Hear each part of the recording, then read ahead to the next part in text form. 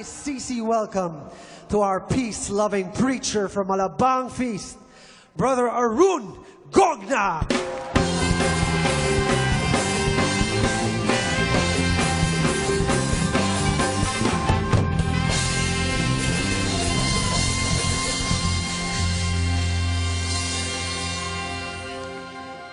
Good morning. This is my second time to give a talk here at PICC. The first one was just a few hours ago. Are you excited? Yes. I'm also excited. Can you look at someone next to you? Tell your friend, you will be super blessed today. Hallelujah. Amen. I believe in that. Thank you, Jesus. Thank you, Lord. When I'm invited to give a talk in corporations, schools, at the end of my talk, I promote our feast. I promote Feast Alabang. Sinasabi ko sa kanila, alam nyo, you have to attend the feast nearest you. Why? Because miracles happen there. So sila naman nakatingin, parang, ah, ano ba yun? Ah, ano ba yung feast? So wala silang masyado idea. And then I tell them about Feast Alabang. I tell them that Feast Alabang has grown for two years. Now we have 1,700 feast attendees at Feast Alabang. Tapos sinasabi ko sa kanila, alam nyo, sa Feast Alabang, grabe miracles nangyayari dyan. May mga dumarating dyan naka-wheelchair. Paglabas ng mga naka-wheelchair, marunong na silang kumanta. So, tawa yung mga tao, di ba? Tapos, I have been saying that joke for many, many months, but my dear friends, last June, it was not a joke anymore. Merong feast attendee sa Alabang na 9-year-old, si Nina. Si Nina, uma-attend sa Alabang with the family, naka-wheelchair. Makikinig ng talk. After my talk, I go down and pray for her and the whole family every Sunday. Every Sunday. For many months. Bakit? Si Nina kasi nagda-dialysis three times a week. So just imagine, nine-year-old, nagda-dialysis, talagang very weak. And then June, birthday week ko, I was talking to the technical people before the feast starts. May lumapit sa akin, kinalabit ako sa likod. Pagharap kong ganyan, si Nina may daladalang regalo, nakatayo.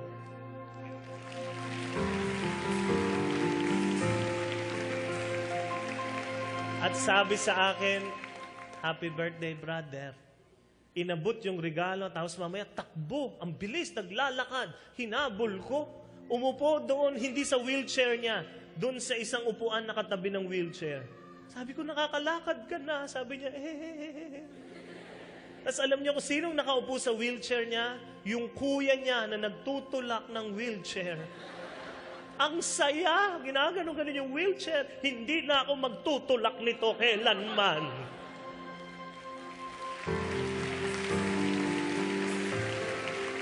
That was June.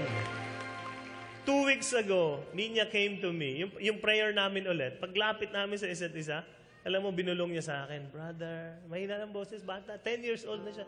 Brother, sasali po ako ng dance ministry. Yung talaga, Sabi ko sa kanya, naalala mo, di ba? Pumunta ka rito, naka-wheelchair ka. Ngayon, sasali ka sa dance ministry.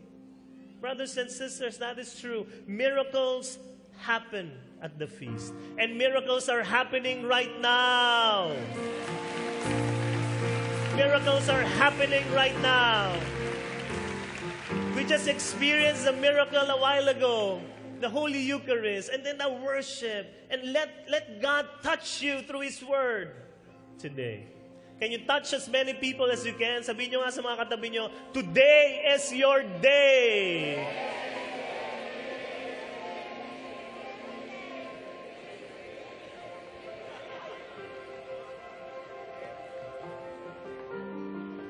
Let's come before our God and pray our favorite prayer here at the feast. In the name of the Father, and of the Son, and of the Holy Spirit.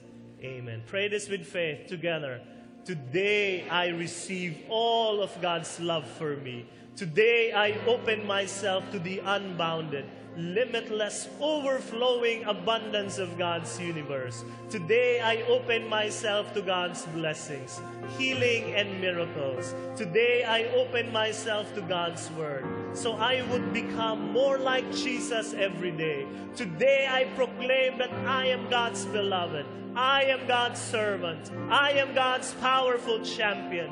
And because I am blessed, I am blessing the world. In Jesus' name, amen. Amen. Thy word is a lamp unto my feet and a light unto my path. Let us read from Matthew chapter 5, verse 9 together. Happy are the peacemakers, for they shall be called sons of God. Can you say peace? Can you say shalom? You know what shalom means? More than peace, shalom means bayad na utang mo. That's the truth. Bayad na utang mo. Yun ang ibig sabihin ng shalom. Mas malalim pa sa peace, bayad na utang mo. Tingnan nyo nga mga katabi nyo. Sabihin nyo nga sa kanila, shalom.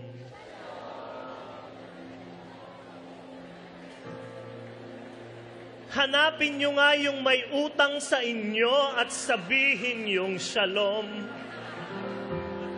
Kung kaya nyo lang. Ano?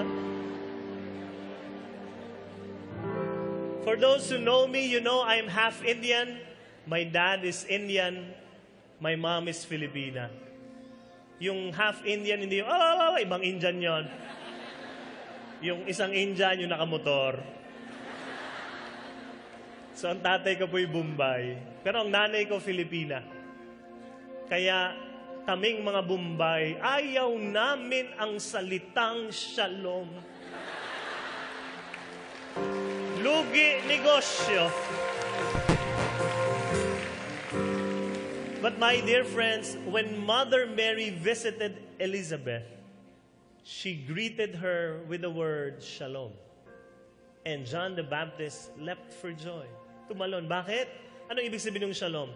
Mary was saying, I will be serving you. Habang buntis ka, paglilingkuran kita. Kaya lang wag mo akong babayaran. Bakit? Shalom. When Jesus was on the cross, lahat ng servants niya, disciples, left Him to die. May mga utang lahat yan.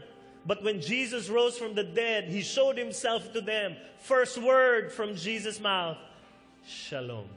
Ano ibig sabihin? Bayad na utang niyo. Mga kapatid, tingnan niyo ako mabuti. If you can look at me on screen right now, look at my face, and let God's Word tell you, bayad na utang mo. Bayad na ang utang mo. I would like you to allow your words to be God's word to people around you. Hindi ko alam kung anong dating yan, pero sabihin mo sa pinakamaraming pwedeng sabihin, bayad na utang mo.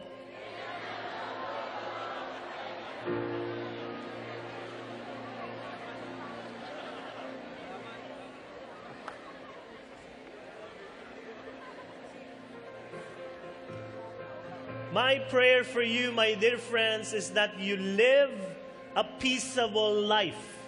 Peaceable, peaceable. Dapat peace or your peace should is is able to rule your life.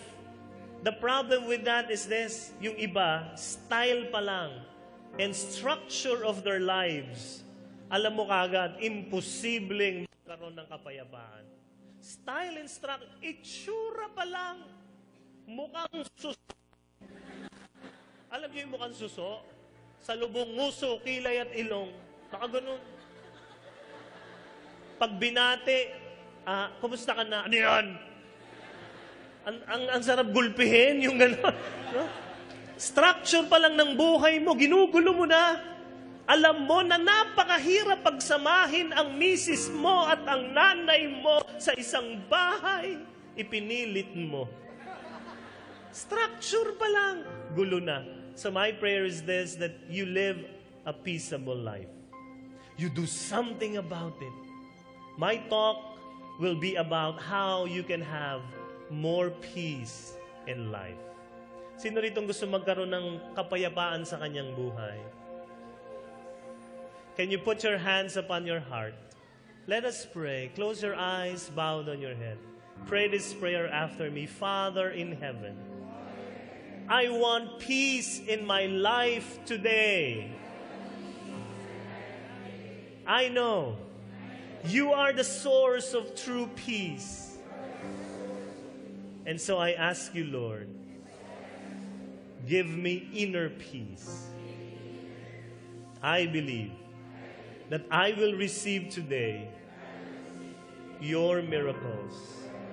In Jesus' name, amen. Thy word is a lamp unto my feet and a light unto my path. Let's give a Lord a big hand. Hallelujah. We worship you. You are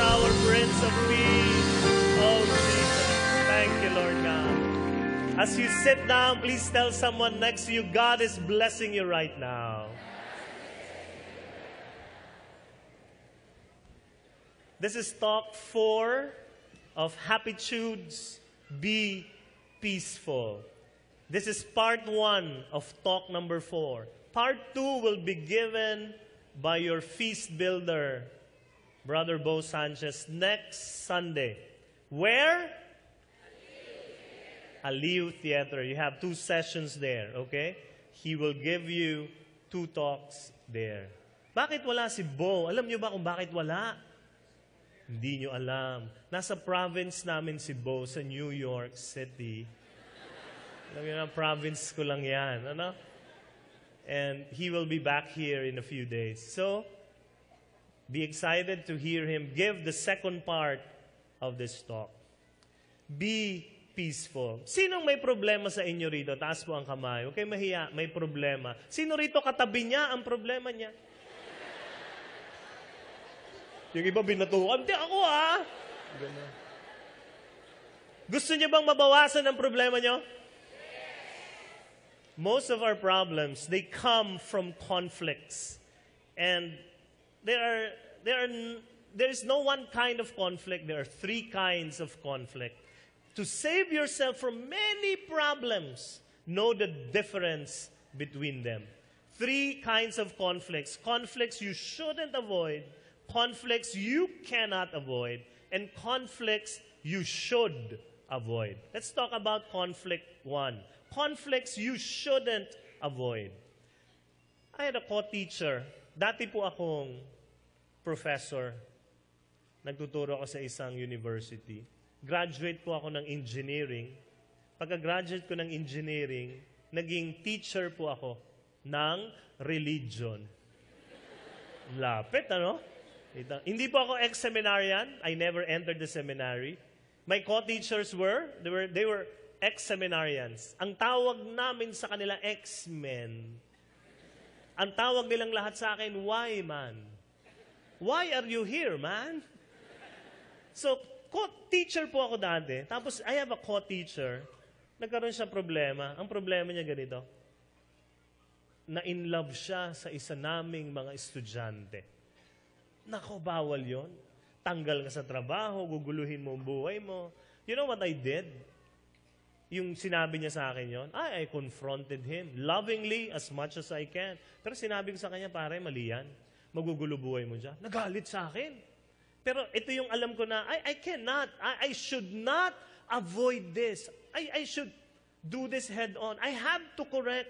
Why? Because if you do not fight, if you do not correct, you are tolerating the sin. Kaya pag mahal ninyo ang katabi nyo, tingnan nyo nga ang katabi nyo, mahal nyo ba yan? You have to correct them. Mahal nyo ba kami mga preachers ninyo? Correct us also. Hindi kasi pwedeng nagtutok kami dito, bukas ang zipper namin. Tapos wala man lamang nagsabi, bukas ang zipper. Lahat kayo, ay, ay, ay. Di ba? You have to correct us. You have to do that. Lapit kayo sa amin and correct us. Amen? Mahal nyo ba yung katabi nyo? Mahal nyo? Tingnan nyo nga. Tingnan nyo nga kung mahal ninyo, kung mahal nyo.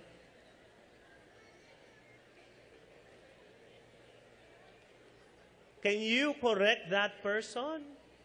Kaya nyo ba? Very good. Then you can do that, okay? With love in your heart, you can correct that person. Ako po, pag tiningnan nyo ako mabuti, just to be honest with you, lumaki po akong senyorito. Alam mo ibig sabihin ng senyorito? Yung, yung tubig na lang, hihingiin ko pa sa aming yaya. Yaya, water. Nanonood ako ng TV, gusto kong ilipat ang channel. Yaya, can you change the channel? Bakit? Kasi noon, walang remote. Ang TV noon yung di cabinet. Gano'n, no? Tapos pag binuksan mo, hintay mo yung tuldok, luminya. Wow! Boom! Gano'n. Tapos lilipat mo yung channel. Sobrang senyorito. Why? Because it's an Indian culture. Ang, ang kultura ng Bombay, ang lalaki, you don't work at home, you work outside. Pagdating mo sa bahay, pagsisilbihan ka ng babae. So pinalaki kaming gano'n ng tatay ko. Not my mom. Yung nanay ko, pinipilit kami. Magwalis ka. So one time, nagwawalis ako sa bahay, nagbubunot ako. Dumating yung tatay ko. Alam niyo sabi ng tatay ko, kumuha ako apat katulong para hindi ka gawa niyan. Tigilin mo yan. Ibaba mo yan. Tama na yan. Ako naman, ay tama po yun. Tama. Tama yun. So, senyoritong senyorito ako. Hindi ako, mar- hindi ako naglalaba, hindi ako naghuhugas ng pinggan. My gosh, pag hinawakan nyo tong kamay ko, ang kinis nito. Parang ganito. Ayaw nyo maniwala. Ano? Lumaki akong senyorito. Who are parents here? Can I see the hands of parents? Parents, this might be happening at home. That you do not want to punish or correct your children. Why? Because you love them too much. Itong problem. If you do not punish them with love, you're sending them wrong signals. Example. You have an elementary son or daughter. Umuwi ng bahay. Galing school. Sabi niya, Mommy, I am so tired from school. But I have a project that I need to submit tomorrow. Can you do the project for me? Ikaw naman, kinuha mo sa loob-loob ni mami. Pag hindi ko to ginawa, babaksak siya. Pag bumagsak ang anak ko, repeater. Pag repeater, ako rin magbabayad ng tuition. O sige anak, you go and rest in your room. Tapos ikaw ang gagawa ng project. Anong project? Mga munggo. Mga shells. Naalala niyo yun? Project natin yun eh. Halfway doing the project, sabi mo, silipin ko nga yung anak ko, kawawa naman. Binuksan mo yung pinto, pag silip mo, nakita mo yung anak mo, nagko-computer, nag-games. Di ba? So ikaw, anak, I thought you were resting. Sabi ng anak mo, this is how I rest. Then you go back to the project. Gawa na. The next day, he wakes up. Ikaw, hindi ka na gumising. Bakit? Hindi ka naman natulog. Paglabas ng anak mo, going to school, alam mo sabi mo, anak, this is your project. You can submit this to your teacher. Alam niyo sa alam niyo actually yung sinabi mo, ang sinabi mo sa kanya hindi 'yon. Your words were this. Anak, you told a lie. Nagsinungaling ka, hindi ka pagod, naglaro ka lang dahil sa ginawa mo. This is your reward. You send them wrong signals. You tell them that if they do bad, life will reward them. My dear friends, that's not true. In life, if you do bad, if you make bad choices, life will not reward you. Life will punish you. Conflicts you shouldn't avoid. Correct them if you love them. Amen. Second is this conflicts you cannot avoid. What is conflicts you cannot avoid? In the Bible, David. Kilala niyo ba si King David? Si Baldavid, kilala niyo? Hindi sila magkaano-ano, ha?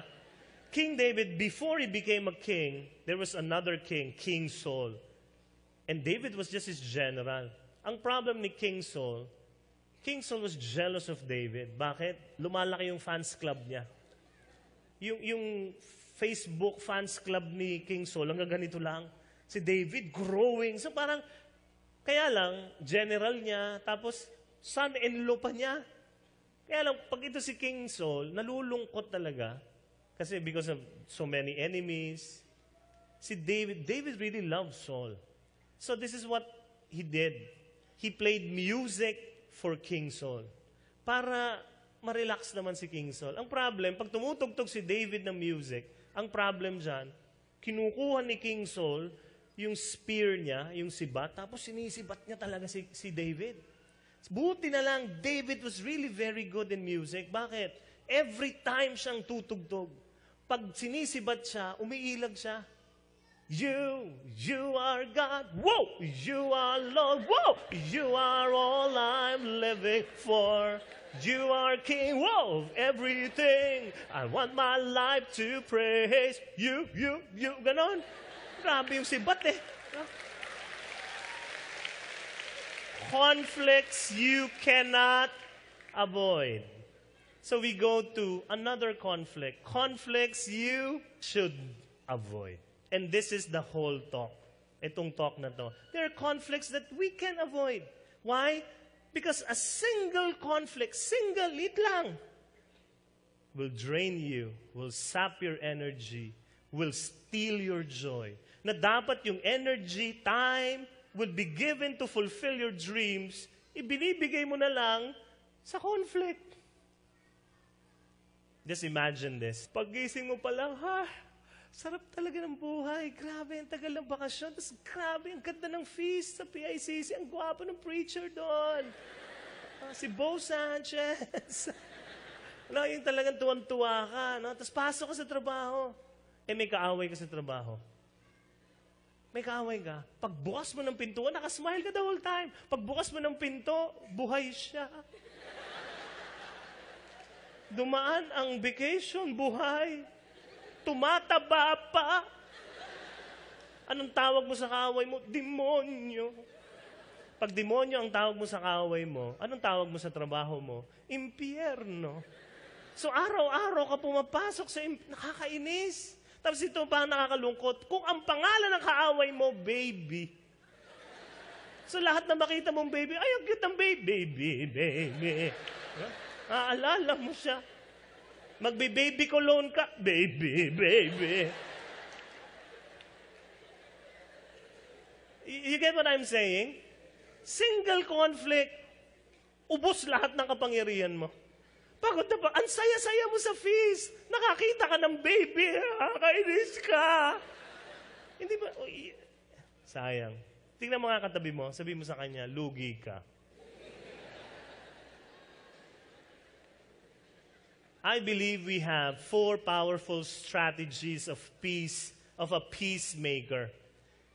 The two I'll discuss today. The two others will be discussed by Bo at Aliv Theater next Sunday. So, two strategies. Number one is to be faithful. Number two is to be forbearing. Be faithful. Tingnan nyo nga ang katabi nyo. Mukhang faithful ba? Many conflicts arise from unfaithfulness. Tandaan niya, ha? Unfaithfulness. Those who are working, do you love your work? Yes. Sino nga rito ang mahal niya ang trabaho niya? Taas mo ang kamay. Thank you. My dear friends, you should not just love your work. You should also be faithful at work. Loyal to your job.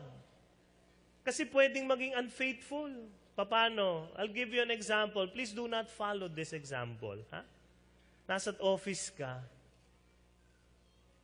Nakita mo sa table mo, oh, paper clip. Kailangan ng anak ko ito sa bahay. Isa lang naman. Hindi mararamdaman ng company. Bond paper. Oh, kailangan niya sa project ito. Eh, araw-araw, bond paper. Ang tagal mo na sa kumpanya. Napaka-unfaithful. Again, who are married people here? Can I see the married people? Yan. Kanina, parents ngayon, married people. Do you love your spouse? Parang, what? What? Do you love your spouse? Ha? What? What? Parang galing sa ilong, ano? You cannot just love your spouse. You also need to be faithful to your spouse. Yes? You know, before we started the feast, itong mga kung saan-saan na feast, we had a big planning. Bo called me up. Sabi niya, bro, we have a five-day planning. Sabi ko, saan yan? Sabi niya, sa Boracay. Sabi ko, wow, what a planning. Huh? Gandang plan. Sabi, sabi niya, bro, bring your family with you. Sabi ko, nako, hindi pwede kasi kakapanganak lang ng asawa ko, hindi, ako lang ang pupunta. Sabi niya, nako, maiinggit ka sa amin kasi dala namin ang aming pamilya. Sabi ko, wala akong magagawa. So punta ako sa Boracay. Sino nakapunta na sa Boracay sa inyo? Sa Boracay pala may beach. Meron pala, no? Kasi hindi ko nakita ng apat na araw. Ang planning namin the whole day hanggang gabi. Pag, pagkatapos ng planning, lalabas ka, hindi mo na makita yung beach. But on the fifth day, tanghali, pinalabas kami. Tapos na. So, labas kami. Grabe. Ang, ang Boracay pala may station 1, 2, and 3. Di ba? Doon ako nag-umpisa maglakad sa station 3. Sa station 3, ang sexy. Pagpunta ka ng papunta sa station 1, pa-sexy ng pa-sexy. Kaya nung nasa station 3 ako, nakita ko yung mga tao, naka one-piece bathing suit. Eh, faithful ako. Kaya sabi ko, Lord, ipikit nyo ang mata ko. Lakad ako. Pagdating ko sa station 2, two-piece na ang suot nila. Kaya napalakas ang dasal ko, Lord, ipikit nyo ang mata ko. Pagdating ko sa station 3, hindi na two-piece ang suot. One and a half. At ang panalangin ko, kung hindi ako faithful, nag-iba siguro ang prayer ko. Baka ang prayer ko, Lord, ipikit nyo na ang mata nyo.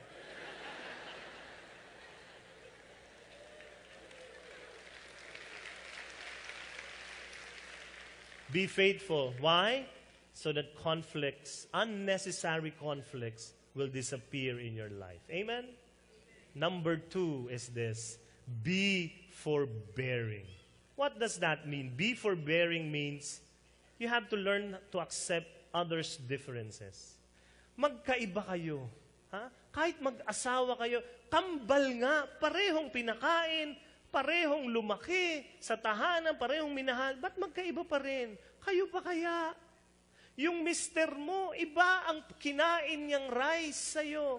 Sinandoming siya, NFA ka. Kaya paglaki niyo, magkaiba kayo. There are differences and you have to accept. He is different. I'm different. They are different from me. Pag nangyari yan, gagaang buhay niyo. Di kayo palagi nakikipag-away. Let me give you some differences of a man and a woman. Let me talk to the men. Men, we have tunnel vision. Alam niyo yung tunnel vision? Ganyan. Wala kami masyadong peripheral vision. Hindi namin masyado nakikita to. Ganyan kasi kami. Hindi kami mga kabayo. No, na may ganyan. Pero ganyan. That is why, when, when a beautiful woman walks, kami mga lalaki, sumusunod talaga yung leeg. Kasi nga ganun kami. Diba? Yes, we look at beautiful women. ah, diba? They are God's creation. It's, it, pero kayong mga babae, nako, hindi kayo tunnel vision. You have eyes at the back. Yes! Nandun yung gwapo. Doon ka nakatingin. Ang gwapo!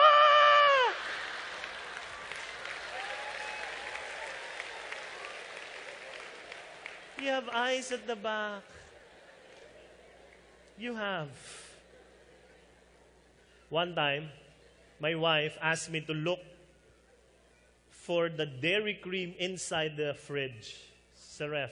Ang ref namin, kasi tangkad ko, six-footer din. Eh, two doors. Nandito yung freezer, nandito yung, yung ref. Sabi niya sa akin, nandyan sa baba. So pagbukas ko pa lang ng ref, I need to bend. Pa-bend pa lang ako, wala dito. Alam mo, sabi niya, love, nandyan yan. So ako tiningnan ko, sabi ko, wala. Sabi niya, hanapin mo, ano bang ginagawa ko dito? Nagpapalamig. Sabi niya, gamitin mo ang mata mo, wag ang nguso. Sabi ko, hindi nakakakita ang nguso ko. Tapos tumahimik. Maya-maya, yung kamay niya nandito. Kinuha niya yung dairy cream dito. Eto ah! Ay, oo nga. Bakit? Tunnel vision. So men, listen. Men, listen to me. When your wife tells you it is there, it is there. That's the truth. It is there. Now, let me talk to the women. Women, your thoughts, your thoughts ha, in your mind, they are like spaghetti. Magkakadikit yan. Grabe. Kaya kayo, pag may, you can talk about 10 different things, topics in 5 minutes. And then you go back to the first topic immediately. Bakit? Nagkakadikit? Yung kakambyo lang basta, alam mo ba yung unga? At si ano, unga, di ba? Ay, napanood mo ba yung unga? Ganun talaga. Diyos, saan na kayo? It's not wrong. It's your design. But we men, we men, not spaghetti. Our, our thoughts are like boxes. Kahon. We open a single box and we talk about what's inside without opening the other boxes. If we want to talk about other boxes, other topics, we close this box and open another one. Ganun kami. Kaya minsan nalilito kami. Pag nagkukwentuhan kayo kung saan na kayo, kasi isang kahon pa lang yung bukas. Pasara muna ha. Hahanapin ko pa eh. Nasaan na ba yon? Ito pala. Pagbukas ko, ibang topic na pala. Ganun nangyayari talaga. We're different. Kaya lang, pag hindi mo alam yon, away kayo. And, women, listen. Wives, listen. We men, we have a favorite box. This box is called Nothing Box. What's inside? Nothing. Paborito namin yan. Kaya mapapansin nyo ang asawa nyo, ang lalaki, madalas, tingnan nyo ha, ganito.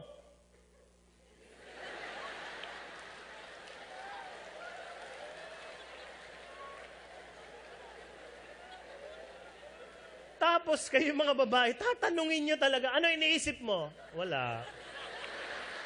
Wala. Nothing. Hindi ka papayag. Bakit? Wala kang nothing eh. Dikit-dikit ka. Mamimilit ka. Anong wala? Meron. Wala nga eh. We're different, but it's okay. It's okay. Pero pag alam mo yon, o nga, magkaiba kami, ay, you will solve a lot of conflicts. Last difference, ang dami kasi. Women, be honest, you talk more. Men, we talk less. Men's maximum words, ha? tayo mga lalaki, our maximum words a day is 6,000 words a day. Women, your minimum words a day is 8,000.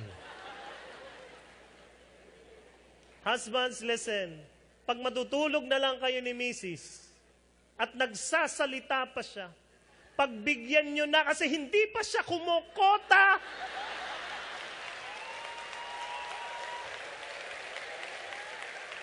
Hindi pa. Women, if your husband, wives, if your husband doesn't say anything, it doesn't mean we do not care. Huh? It simply means we reach our quota already. Kaya kami mga lalaki, if we sit together for one hour without talking, we're fine. Kayo mga babae, hindi. Sumakay kayo ng kotse, 20 minutes, hindi kayo nag-uusap. Pagbaba nyo, galit ka ba sa akin? Kasi pwede yun eh. We are different from one another. So my dear friends, learn to accept. Hawakan nyo nga ang kamay ng katabi nyo. Ngitian nyo nga. Sabi mo sa kanya, tinatanggap kita. Sabi mo sa kanya, tanggapin mo rin ako. Gagaang po ang buhay nyo pag natuto kayong tumanggap. Yes?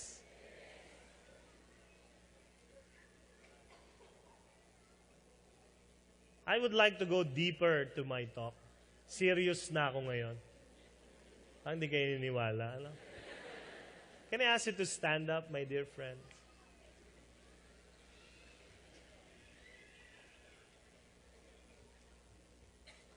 Do you really have do you really want to have peace in your life? Maraming umaattend sa feast, dami nangyari sa inyong linggong ito, no?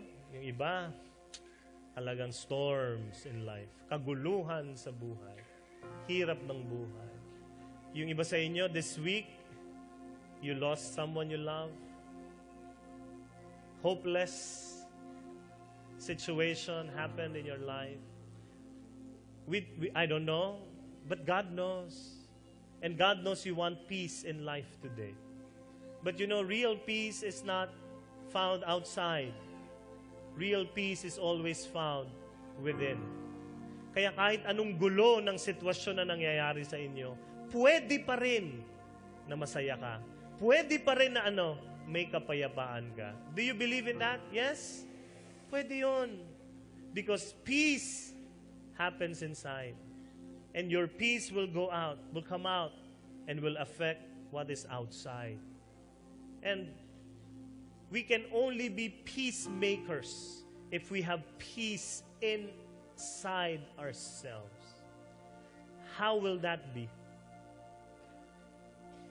It will only happen, my dear friends, if you have the Prince of Peace, Jesus Christ, in your hearts today.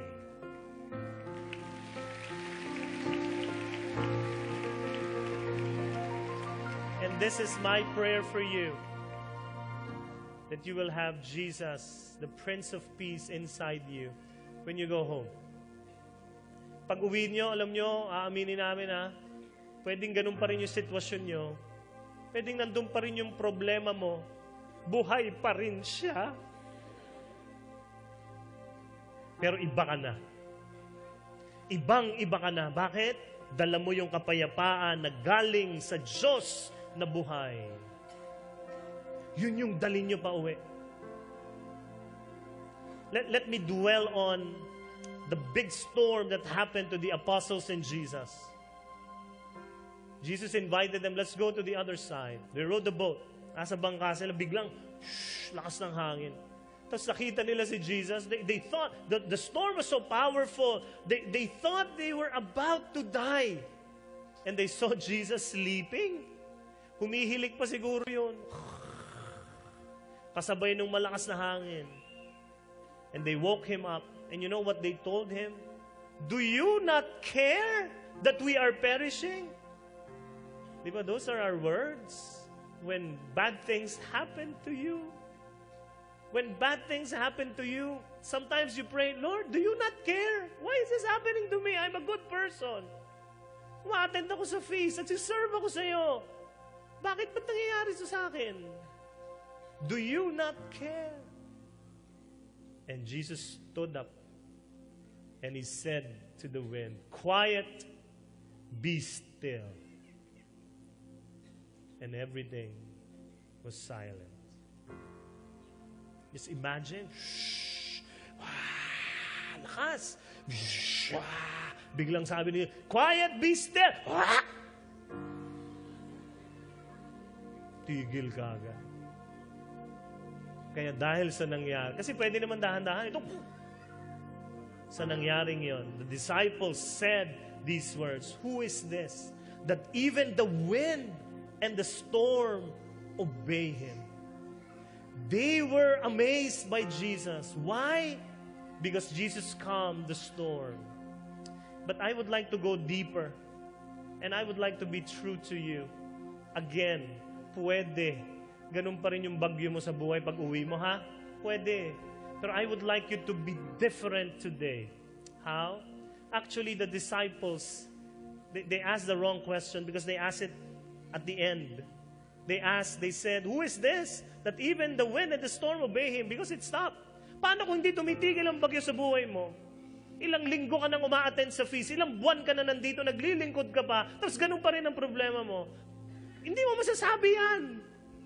Hindi mo kayang sabihin sa Panginoon, Who is this that even the wind and the storm obey Him? Because I'm still in the storm in life. So this is what I would like you to say to the Lord. And this is what I believe the disciples should have said. Habang bumabagyo, kas, nakita nilang si Jesus tulog. Dapat, ito magandang sabihin nila. At sabihin din natin, Who is this? Takan-takan, who is this? That even the wind and the storm do not wake him. Who is this? Ang lakas na ng bagyo. Tulog pa rin. Tulog Kailan kayo natutulog? Pagpayapa na ang inyong puso't isipan. Tama? Hindi kayo makakatulog pag magulo pa rin ang isip at puso nyo. Ga- Gaganyan lang kayo sa kama. Ihiga after one hour. Lilipat ng pwesto. Tutulog. Pag after one hour, di ka makatulog. Bakit? Gulo ng isip. Jesus was sleeping. Let's follow Him. Look at Jesus and say those words. Who is this? That even the wind and storm do not wake Him. It will happen to you. Even if there is, you are still in the midst of the storm, it will only happen if the Prince of Peace is in your heart today. This is my prayer for you.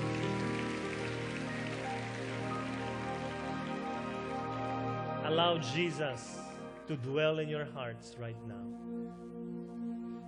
God is here. I can sense Him. He is passing by. He is walking by. And He will be touching you. His touch will heal you. His touch will give true peace in your life. Peace that the world will never understand. I would like you to receive that touch from your God. He is passing by right now. Can you do this, my dear friends, as if you're embracing yourself? Parang niyayakap niyo sarili niyo. And then I would like you to close your eyes with faith and confidence that God is passing by right now and He is embracing you. Open your heart. God is here. God loves you so much. He is passing by. Oh, thank you, Jesus. Thank you, Lord. Receive God's peace today. I take this time, this opportunity, Lord, to just be in your presence, to feel your overwhelming presence right now, Lord, embracing me. Thank you, Lord, for this unconditional love. That amidst the trials, amidst the storms, Lord, I have faith that you will walk with me. And I will quiet my fears. I will silence my doubts and know that you are God. In Jesus' name I pray. Amen and amen. Give the Lord another big round of applause. Hallelujah.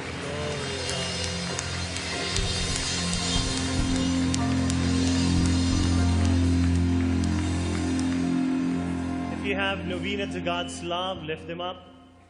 If you have your prayers, petitions, lift them up. Let's surrender them all to the Lord. If you don't have anything with you, novena or prayer, just lift your hands to God as a sign that you would like to surrender to Him all your dreams, all your wishes, your desires. And with faith, pray this after me Father in heaven, I surrender them all to you. I believe you are moving creation right now. To answer my prayers. And so I receive all of them. All your graces. All your blessings. In Jesus' name. In Jesus' name. In Jesus' name. Amen. Hallelujah. Thank you, Father. Thank you, your name, O God. Hallelujah. Brothers and sisters, God, Jesus passed by. He didn't just touch you, He embraced you. And that embrace is not just for you. To complete that embrace, you need to give that embrace to people you love who are near you. As you embrace one another, give each other God's peace. Go, go and embrace. Hallelujah.